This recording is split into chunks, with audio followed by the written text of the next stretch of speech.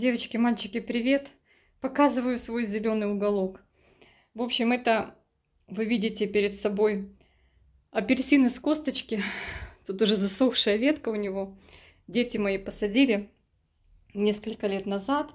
Вот он тут растет, то сбрасывает листья, засушивает ветки, то опять наращивает новые побеги. В общем, ветку эту оставила сухую, потому что вот ну, при помощи этой ветки держится вся эта конструкция. Чем я занимаюсь? Я вытираю листочки с лимонной кислотой, стираю, так сказать, пыль. И рядом я поставила, переставила в этот угол свой замякулькас, так сказать, король комнатных растений. Долларовое дерево его еще называют. В общем, девочки, посмотрела сегодня, развернула и удивилась. Удивилась тому, что, смотрите, еще два новых побега, таких мощных растит он. Ух, посмотрите. И он у меня падал на ту сторону, и никакие вот эти подпорки уже не помогали, они его просто не держат. В общем, я нашла выход. Я его вот так поместила в угол получилась такая, знаете, естественная подпорка. И ему тут очень даже неплохо. Он у меня цвел. Я здесь уже срезала, вот здесь был цветок засохший. И вот доцветает еще одним цветком, но он уже все засыхает. Засохнет, надо будет его обрезать. Но меня радуют вот эти новые, не знаю, как они называются, побеги я их называю, туберидии называются они, по-моему. В общем, меня осталось еще вытереть вот этот пыльный. И я каждый, девочки, листик, вот каждый листик протираю. Ну, а что делать? Я это делаю не часто. Но когда вижу, что он уже совсем-совсем некрасивый и совсем-совсем уже пылью припал, хочется его прям ополоснуть. Раньше я так и делала. Когда он был меньше, я его помещала в ванную и промывала душем. Ну, под душем попадала сюда вода, а его желательно сильно не переливать. Как-то мне написали в комментариях, что он у вас цветет, потому что ему плохо, потому что ему сухо. Ну, девчонки, не знаю. Что-то не похож он на того, кому сильно плохо. Ну, согласитесь. М -м -м, растит свои красивые веточки. Видите, после того, как я его протерла с лимонной кислотой, очень даже стал он симпатичный, не пыльный. Мне кажется, его все устраивает. У меня еще там два экземплярчика. Один скоро надо уже пересаживать, он там перерос свой вазон. М-м-м. И еще один, который я, кстати, щедро поливала. И он у меня начал просто вот эти побеги гноить. То есть его чем реже польешь, тем ему лучше. Э, уход а-ля а за кактусом. В общем, друзья мои, сейчас я его довытираю, допротираю ему листики. И будет он продолжать здесь осваивать этот угол. Надеюсь, что света ему здесь хватит. Единственное, рядом отопительный прибор – радиатор. И в зимнее время, конечно, будет ему жарковато, особенно апельсину. Ну, доживем до зимнего времени, и там будем смотреть, куда кого подвинуть. Ну, думаю, что вот на таком расстоянии ему не будет сильно этого вред, учитывая, что у меня выше, чем 21 градус, 20 градусов в комнате, даже с отоплением в зимнее время температура не поднимается.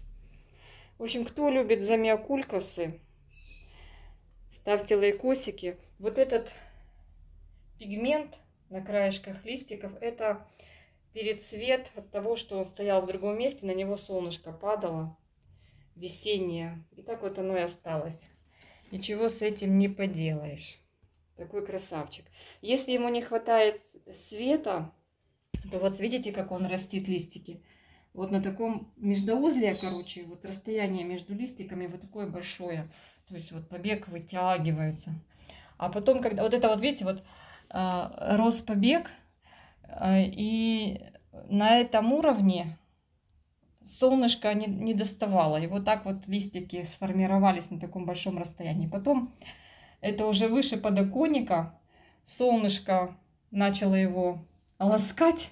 И видите, как здорово листики разместились на верхней части этого побега.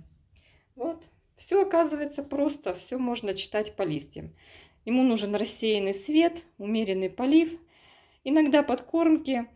У меня он даже не помню, по-моему, он высажен у меня просто в смесь универсального грунта.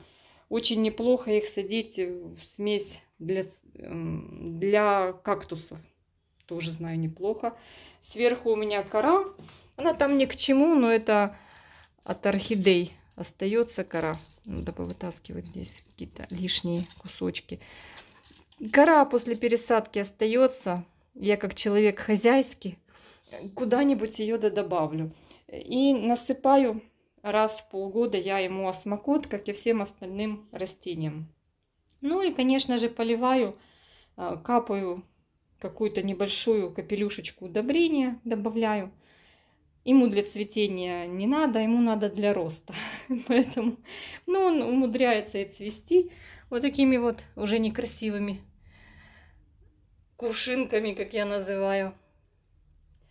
Такая, видите, уже отсыхает. Ну, еще не отсыхает, она полностью вообще обычно засыхает. У меня вот в этот раз в, лет... в весенне-летнем цветении было два таких початка. Многие не видели, как цветут замиокулькасы. Ну, восторга я не испытываю, я больше от его цветения, я больше испытываю восторг от того, как растут и разворачиваются новые побеги. Видите, какие они интересные. Листики вот так скрученные. Посмотрим, на каком расстоянии листики в этот раз расположатся. Так как я его передвинула, в другое место. И здесь уже не такое интенсивное освещение. Ну, посмотрим. В общем, где-то 2-3 побега за сезон он выдает. Но это уже достаточно взрослый куст. Девочки, пишите про свои замиокулькасы. Меня спрашивали, говорят, Таня, расскажи, как они размножаются. Девочки, только знаю теорию, на практике не пробовала. Просто надо из зрелого побега взять хороший здоровый листик, и этот листик поместить в тепличку с хорошей э, почвой. Возможно, даже пролить корневином, для того, чтобы все ростовые процессы начались быстрее. И укоренение произошло, э, формирование вот этой, там, знаете, такая, у него же корневища в виде клубня. И поэтому вот когда вы садите, вот отрываете листочек, выбираете такой хорошенький, такой вот, например, вот этот, если оторвать, и подержать в корневине сам листочек, потом посадить в хорошую смесь для прорастания, э, сделать тепличку, то вот у основания листа появится маленький такой клубенек э, с корешками. Вот и начнется укоренение. Но сам процесс уже взраст... выращивания этого малыша, он очень достаточно длительный, потому что эти растения, они не растут быстро. Вот у меня уже этому замиокулькасу, ну, наверное, девочки, лет, наверное, 8, может быть, даже 9. И он был купленный не маленьким, он не из листика. Поэтому, вы же сами понимаете, для того, чтобы выросло такое большое полноценное растение, конечно, надо время. Надо время и правильный уход. Ну, я считаю, что замиокулькас, ну, не нужно там прям. Главное вот изначально его посадить в хорошую, э, рыхлую такую, быстро просыхающую почву, как все растения, у которых есть клубень, во избежание загнивания. Не увлекаться поливом, периодически вносить удобрения и дать ему рассеянный свет и все, наслаждаться результатом. Ну, такое мое мнение. Дополните это мое мнение своими какими-то наблюдениями. Возможно, у вас есть свои наблюдения. Ну, я не знаю, что он еще у меня разве что не плодоносит. Если они умеют плодоносить. Вот, в принципе, у меня весь цикл а, происходит. Цикл появления нового роста, его вызревания этого роста, цветение растения. В общем-то, такое, знаете. И вот он растет. У меня в данном случае, здесь у него еще место есть до края горшка. У него, как бы, знаете, э, симподиальный вид произрастания. То есть он как, как у нас э, орхидеи, которые имеют ризомы, такие замиокулькас, вот так идет в одну какую-то сторону. Ну, в данном случае у него можно сказать, что два направления роста появилось. Вот и вправо, и влево. Здесь такой прям сформировался, не знаю, какой-то, знаете, одеревенелый уже, прям, можно сказать, ствол. Вот здесь он запасает. Почему не надо его часто поливать? Видите, какой стебель? Вот этих стеблей у него как кладовочки с запасом питания, влаги. Если его оставить на какое-то длительное время, посмотрите, какие неупругие, на какое-то длительное время его оставить, благодаря вот этим кладовочкам растение не погибнет. Оно просто будет их смарщивать, забирая из них влагу, но не погибнет. Все, друзья мои, решила вам рассказать, чем я сегодня занимаюсь. Вот занимаюсь я сегодня своим замиокулькасом, именно этим. Еще два стоят в других локациях. И, кстати, один, который был залит, наконец-то появился у него рост именно тогда, когда я про него забыла. Сейчас я вам его принесу и покажу. Вот, девчонки, принесла вам своего умирашку. Это вот деленка от этого красавца. И смотрите, я уже с ним, можно сказать, попрощалась, потому что он, он у меня э, загнил. И вот этот ужасный рост. Все никак и не отмирает. Я его не трогаю, пускай забирает с него все. В общем, я перестала его поливать. Вообще поставила, в... засунула, поставила его в такое место, там, где нету моего доступа к нему. Подальше с глаз. Вот у него даже какой-то мелкий лист у этого. Видите, какой крупный. Сейчас тоже буду его протирать. И вот, наконец-то, прошло время, и он выдал, видите, новый рост. Вот он. Я говорю, о боги, наконец-то, наконец-то у нас появился новый рост. Здесь у меня, конечно, мох сверху лежит. Но я вот так вот углубляю туда, вовнутрь палец и чувствую, что там еще влажно. Ну, главное не заливать. Здесь какая-то у него непонятная травма. Либо это было загнивание.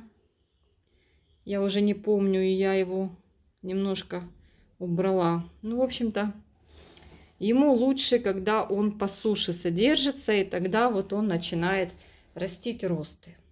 Все, надеюсь, что вот уже с появлением новых ростов его состояние улучшится. И со временем, со временем вот эти вот хилые ростики подмирают, и он примет уже красивый декоративный вид. Ну, на это понадобится немалое время, тоже обожженный солнцем. В общем, сейчас я тоже его протру. Вот, совершенно одинаковое растение в двух состояниях.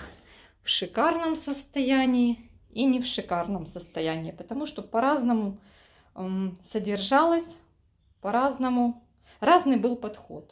Этот стоял у меня на виду в кухне, и постоянно плюхалась в него водичка, и был далеко от источника света, и тянулся вот такими вот, видите, листик мелкий, и очень длинные такие вот росты, худенькие, не хватало света, далеко от окна стоял.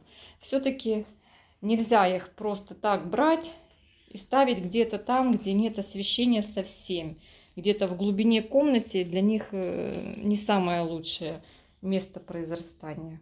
Обязательно должно быть окошко недалеко.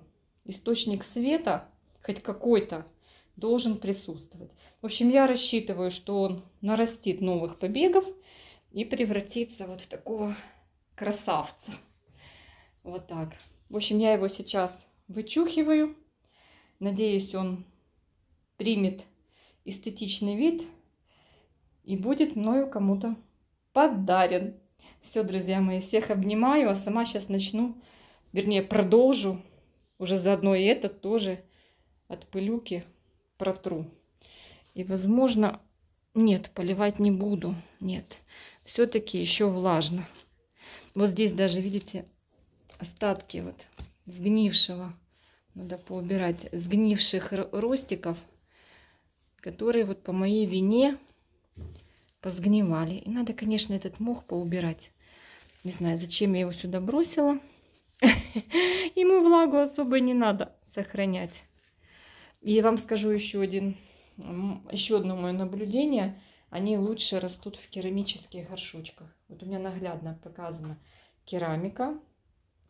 Прекрасно растет. Корневая дышит. Там клубень и прекрасно дышит. И вот э, пластик. В пластике они растут хуже. Корневая не дышит. Ну, думайте сами, гадайте сами, наблюдайте, делайте выводы. А я вам рассказываю о своих выводах. Ребята, гляньте, как выросли эти росты за две недели. Я видео не выкладывала, э, не успела. Прихожу, смотрю, они с каждым днем все выше, выше и выше. Думаю, я должна вам показать. Посчитала, сколько прошло дней. Не две недели, 12. Сегодня вот 12 дней. Посмотрите на этот. Вообще, на этот рост, на, на эту скорость сумасшедшую. Ну вы же видели в начале видео, какие они были махонькие. Обалдеть. Я сама в шоке от скорости, с которой растут замиокулькасы. Как они быстро выгоняют вот эти вот ростики. Уже скоро будут листики разворачиваться. О-ля-ля. О-ля-ля. Посмотрите, какой. Такое ощущение, что он какой-то, знаете, как будто пластиковый. Этот вот стволик такой темный, но словно пластиковый. Класс. Потом он вот так позеленеет, приобретет такую тигровость. Ну вообще. Ну вообще, вообще, вообще. Эта чешуйка потом, конечно, подсохнет. Вот это, кстати, идет прям вот с этого узла. Как бы вот э, получается два направления роста типа ризомы. Я с котлеями сравниваю с бульбовыми. В эту сторону одно направление роста сформировалось и в эту. Прикольно. Но чем больше направление роста, тем больше будет побегов. Девочки, напишите в комментариях, как они, вот эти побеги, правильно называются. Я знаю, вы все знаете. Вот такой вот кустец у меня лежит здесь. Такой классный. Вообще, мне так нравится новая листва. Такая нежная. Потом становится такая, ух. Люблю. Люблю этот цветок. Смотрю, там какой-то новый подвид появился. Какой-то, я бы его назвала карликовый. Боже, как же он называется? Девочки, как-то на «З». Там такие, знаете, э, он как боровичок такой, знаете. Этот больше такой здоровенный вырастает, а тот такой маленький. Я конечно, приобрела, но потом думаю, ну куда? У меня и так три обычных, куда мне еще тот? Не, ну если бы у меня была, конечно, оранжерея. Вообще вот так вот. Нас нельзя, цветоводов, цвет... любителей цветов, нас нельзя остановить.